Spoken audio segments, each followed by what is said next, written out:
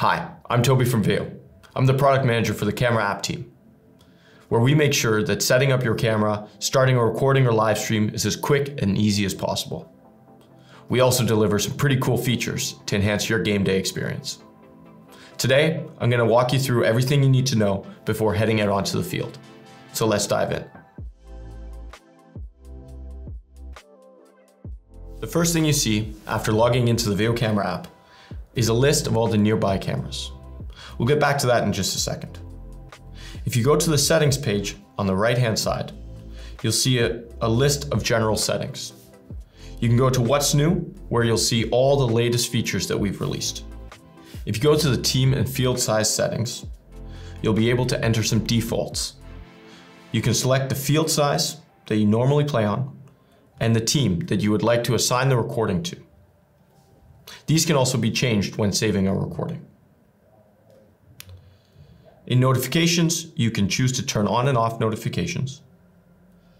Auto connection is a feature that automatically connects you to your most recently connected camera. You can toggle that on and off as well. Then you can go into appearance, choose light or dark mode, You can also manage your subscriptions and your language settings. If you have any issues, you can always go to the help and resources. Here you can suggest an improvement, report a bug, or go to our help center. This is also where you'll find your support ID, which you'll need to create a ticket with support. At the bottom, you can see which account is logged in, you can log out and see which app version you're on. Now, let's go back to the main page. If we tap library, we'll see a list of our uploaded recordings. You can choose different clubhouses if you're a part of multiple, and then you can select a match. Now we're in the mobile viewing experience. At the bottom you see a list of clips which are also represented on the timeline for easy navigation.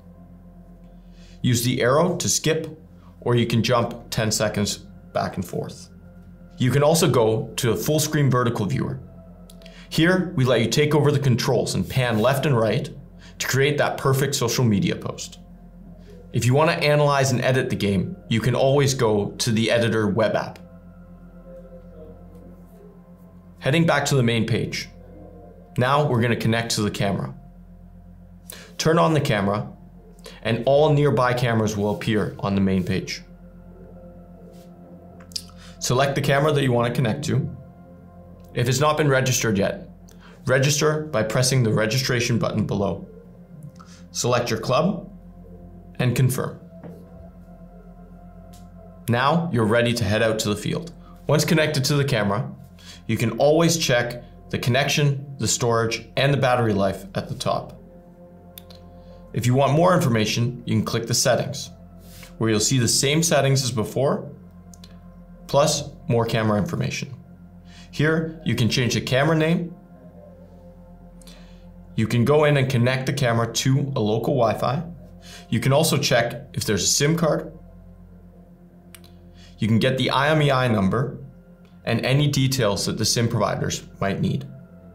Once connected to the internet, run a speed test to understand the camera's upload speed. This will help you understand the performance of your uploads as well as your live streams. Going back to the settings, we can also see more information about our camera, including the firmware version that it's running on. Now, let's start a recording. Before starting a recording, you can choose to view the preview. This will connect you to the camera's Wi-Fi hotspot. Before you start a recording, you can choose to see the preview. This will ensure that you're capturing all four corners. Now, we can press the recording button to start a recording. The loading bar will go and the recording will start counting. Click the slider below to go to instant playback and it'll connect you to the camera's Wi-Fi. Once connected, you'll see the AI generated follow cam with a 45 second delay. Now, let me show you how to start a live stream. To start a live stream, the camera will need to be connected to the internet. We recommend around 5 megabits upload speed. To start a live stream, press go live. Select the field size, whether you're playing home or away. Select the team that you'll be streaming to, and enter the opponent team. Press next, and you'll have to select your streaming destination. From here, you can choose to stream to the Live app, YouTube, or any other external streams. Now you'll see an overview of the stream you're about to start. Our AI has automatically detected the corners. If that fails, you can choose to accept the default settings or go in and select them manually. After that, you can swipe to go live. Once the live stream is started, the AI on the camera is generating the follow cam, so it'll take about a minute to arrive at the streaming destination. The link to the Veo Live app, or to control the external streaming overlays, is available at the bottom.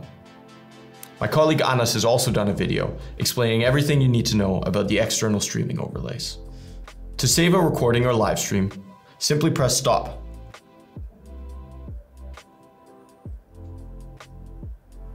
When you stop the recording or live stream, you'll have the option to review and edit any match details. Here you can select which team played. The game will automatically be assigned to that team after upload. Finally, you can edit the recording name and press save. Once uploaded, our AI will process the video and you'll get an email or a notification when it's ready to be analyzed. Now you're ready to head out to the field and capture those incredible moments.